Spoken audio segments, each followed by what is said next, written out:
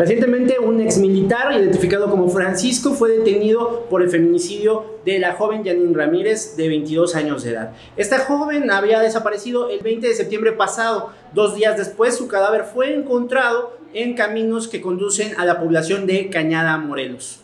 La joven Janine, procedente de Tehuacán, era muy amiga de Roxana Saraí Sánchez, una joven que también ha sido investigada por su relación como víctima de una red de trata de personas en la zona de Tehuacán. La desaparición de Roxana Saraí ocurrió años atrás, en 2017. Ella también había sido acusada de captar a otra joven, conocida como Karina Alducin.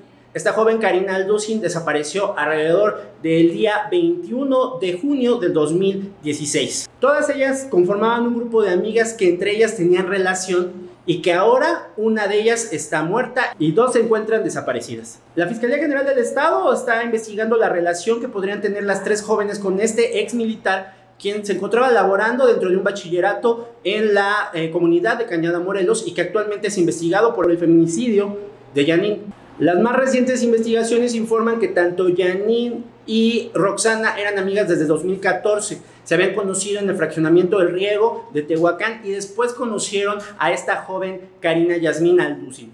Una cuarta víctima podría ser la joven Caitlin, que apareció sin vida en los caminos que conducen Santiago Miahuatlán con Tehuacán. Esta joven abiertamente trabajaba como un escort y había venido solamente para una fiesta en la zona de Tehuacán cuando fue localizada sin vida. Hasta el momento la Fiscalía General del Estado no ha explicado realmente cuál sería la relación entre todos estos hechos, pero sin duda existe una conexión con este militar que actualmente se encuentra detenido Enfrentará el próximo jueves su audiencia de vinculación por los delitos de feminicidio y privación ilegal de la libertad en contra de la joven Janine Ramírez. Hasta el momento, las autoridades de la Fiscalía General del Estado no han detallado más sobre los hechos.